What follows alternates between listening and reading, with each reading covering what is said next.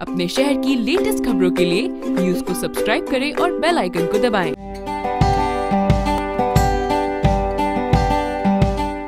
अयोध्या में भव्य राम मंदिर के निर्माण और देश में राम राज्य की पुनर्स्थापना के संकल्प को लेकर निकाली गई राम राज रथ यात्रा, गुरुवार देर शाम संगम नगरी इलाहाबाद पहुँची।